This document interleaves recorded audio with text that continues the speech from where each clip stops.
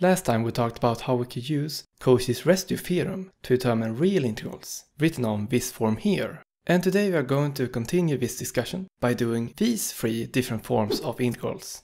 All of them are improper integrals, and we are going to start with this one here. But note that the function f in all of them is going to be a rational function that can be expressed as the following.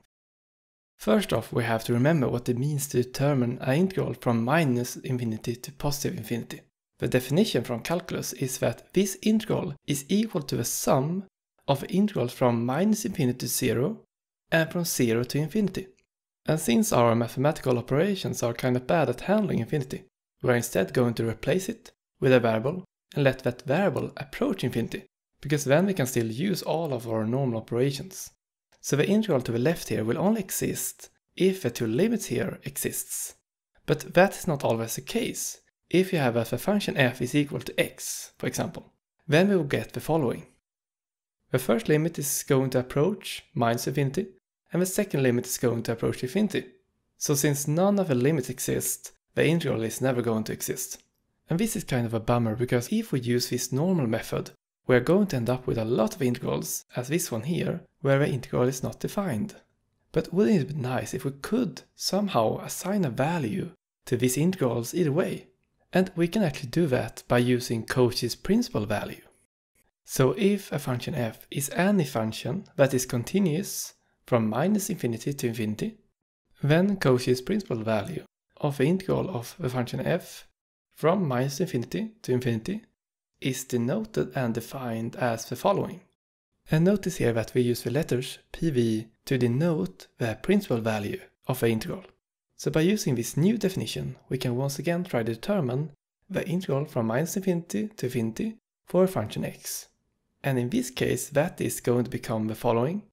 And here we'd like to notice that the function x is an odd function, and we are going the same distance to the right and to the left on the x-axis which means that this integral is going to be equal to zero.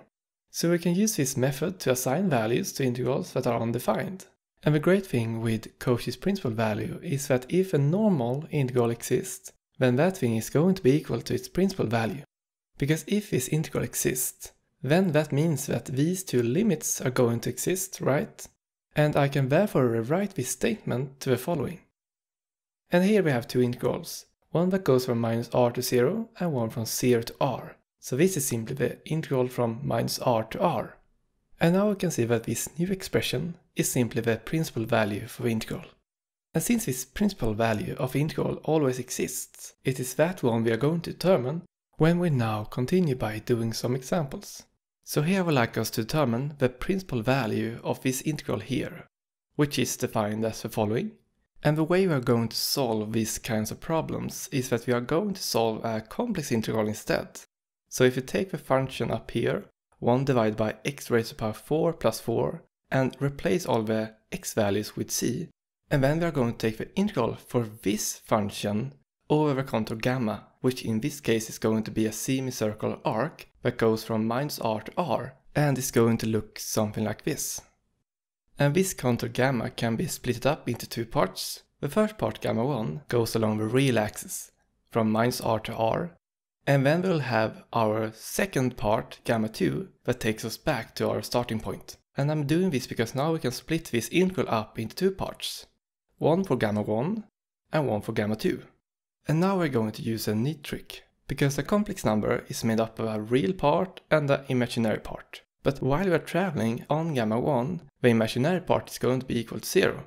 So this means that on gamma 1, our complex number is going to be equal to x, which represent the real part of a complex number. So now we can use this to rewrite our first integral for gamma 1 to the following. We can replace all the c values with x, and then we know that the x values are going to range between minus r to r. So by using that, we get the following. So the next thing we're going to do is now we're going to let our variable r approach infinity.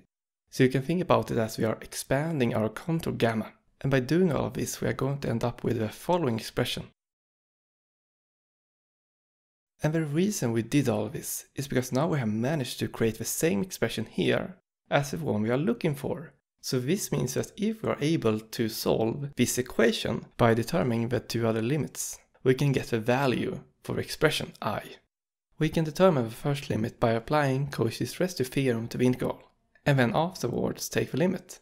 And note here that the reason why we can use Cauchy's residue theorem here is because our contour gamma is closed, which is also one of the reasons why we structured our contour gamma in such a way. The expression in the denominator will have a following four zeros. And notice here that if we have r values that are sufficient big, which absolutely is the case here since we are going to let r approach infinity, then we are going to have that c1 and c2 are going to be inside of our contour gamma, while the points c3 and c4 are going to be outside of our contour. We can now rewrite this expression by using all the zeros, and if we do that we get the following. The next step is that we apply Cauchy's residue theorem to this expression. And remember here that it is only the zeros inside the contour that matters. So we will end up with the following expression. And we can now try to determine these two residues the normal way. So the residue at 1 plus i is going to be equal to the following expression. And we can simplify this a bit by removing some common factors. And if we now also take the limit as c approaches this point, 1 plus i, we get the following. And here we can once again simplify a bit, since we have some terms that eliminate each other. And if we now just continue to simplify this expression, we are going to end up with that this is equal to minus 1 minus i divided by 16. And now we can do the same thing for our second residue. So the expression for this residue, which is located at minus 1 plus i, is going to be equal to the following. And here we can once again eliminate some common factors. And then, when we take the limit as c approaches minus 1 plus i, we get the following.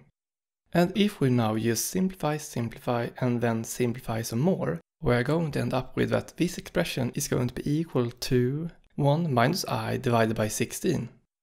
So if we now go back and insert these two results up here, we get the following.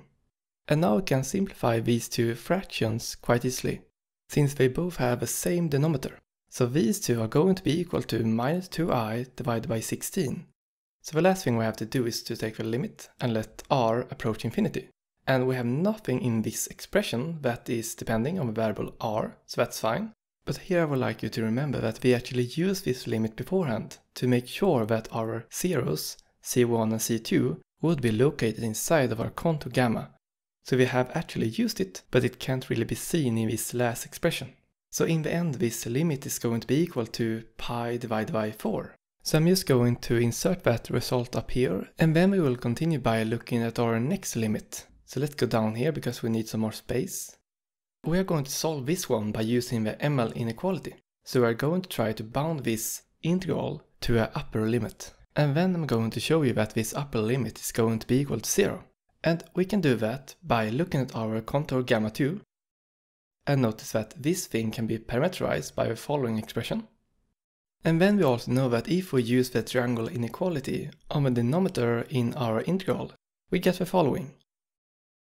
And now we can combine these two results to say that the absolute value for our function inside of our integral is always going to be smaller or equal to the following. And notice here that the absolute value of c is simply equal to the length of a complex number. And from our parameterization that's going to be equal to r. So if we insert that result, we get the following.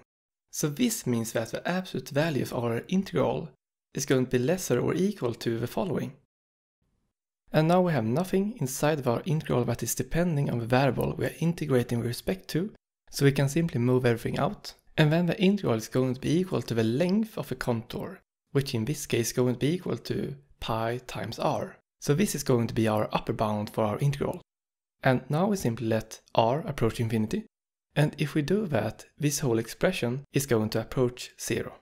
Since the term r raised to the power 4 in the denominator is going to approach infinity much faster than r raised to the power of 1 in the numerator. So this means that the limit that we started with is simply going to be equal to zero. So if we now go back and insert this result into our first expression, we can see that our expression we're after, i, is going to be equal to pi divided by 4. So in short we use Cauchy's residue theorem to get the left side of this equation. And then we just hope that this limit to the right here is equal to zero, which it is always going to be as long as the denominator for a function f is 2 degrees or higher compared to the numerator. So now we're going to continue by doing the other two forms of integrals. And we can do them both at the same time, since the method will be the same for both of them. We start by creating a new integral, a contour integral in this case, where we take our function f and we replace all the x values with c, and then we multiply this by e raised to the power of imc, and then we let the contour be the same as last time, so a semicircle arc going around the upper half plane. This contour gamma can once again be split up into two parts, gamma 1 and gamma 2. And by using this we can rewrite the expression up here to the following. And notice here that e raised to the power of imc is equal to the following by Euler's formula. So if we insert this expression into our integral gamma 1, and then we just split the two terms up so that each term has its own integral, we get the following. And we can simplify this even more because as you might remember, while we are on gamma 1, we are only going to be dealing with the real part of a complex number. So we can simply replace all the c values with x for the integrals that are taken along gamma 1. And then we have to remember that the x values goes from minus r to r. So if we do all that, we get the following expression. And now you can see that these two integrals here are ones we are looking for. The only thing that is left to do is to let r approach infinity. And then we can solve them the same way as we did before. But I think we can do all of that while doing some examples. So here I would like us to determine the principal value for this integral here. And by using the definition of a principal value, we can rewrite this thing to the following. And now we can use our trick here. The function f in this case is going to be equal to 1 divided by x raised to the power 2 plus 4. And then we are going to have that our variable m is going to be equal to 3. So if we insert all of this into our formula here to the right, we get the following. And the next step is to let our variable r approach infinity. So if we do that, we get the following expression. And here we can once again see the limit we're after. So I'm just going to note that one with i. And then we can continue by solving all the other limits. The first one we can probably solve by using Cauchy's residue theorem, since the contour gamma in this case is a closed contour. The denominator in this case is going to have two zeros, one at 2i and the other one at minus 2i and it is only the first one that is going to be located inside of our contour gamma, as long as our variable r is sufficient big, which absolutely is the case here since we are going to let r approach infinity. So we can start by rewriting our expression up here with our zeros, and by doing that we get the following. And the next step is that we can now apply Cauchy's residue theorem to this expression, and if we do that we get the following. And we can now continue to determine this residue the normal way. So the residue at 2i is going to be equal to this expression here. And here we can eliminate common factors. And if we now take a limit as c approaches 2i, we're going to end up with the following expression. And by simplifying this a bit more, we are going to see that this residue is going to be equal to 1 divided by 4i times e raised to the power 6. So if we insert this result up here, we get the following. And we can simplify this a bit by eliminating the two i's for each other. And then we are going to take the limit as r approaches infinity here. But since we have nothing here that is depending on the variable r, we get that this whole thing is going to be equal to pi divided by 2e raised to the power of 6. So let me just write this down up here before I forget it. So, great. The next thing we're going to do is that we are going to look at this limit here. And this limit is actually pretty straightforward. Because in this integral we have one function that is even and another one that is odd. And the product of these two are going to become an odd function. And when you integrate odd function along a symmetric interval, so from minus r to r as in this example, then that integral is always going to be equal to zero, since the contribution from minus r to zero is going to be the same but with opposite sign compared to the contribution from 0 to r. So since the integral is going to be equal to 0, the limit for the integral is also going to be equal to 0. So now we only have one limit left. And we can solve this one by using the ML inequality again. We can use the same parameterization for our contour gamma 2. And then we know that the absolute value of this expression here, which is our integrand in this case, is going to be equal to the following. And notice here that the absolute value of the numerator is equal to e raised to the power of minus 3 times the imaginary part of a complex number c, which in this case is going to be equal to r times sine. And this new expression will always be smaller or equal to the following. And I got this expression by using the triangle inequality the same way as before, to make our denominator as small as possible. And then also observing that the biggest number our numerator can be is equal to 1, which we get at t is equal to 0 or pi. So this means that the limit up here is going to be equal or lesser than the following expression. And we can simplify this a fair bit because nothing in the integrand is depending on the variable we're integrating with respect to. So we can simply take everything inside here and move it outside, which will give us the following. And the integral here is simply going to be equal to the length of a contour gamma 2, which in this case is pi times r. So if I insert that, we get the following.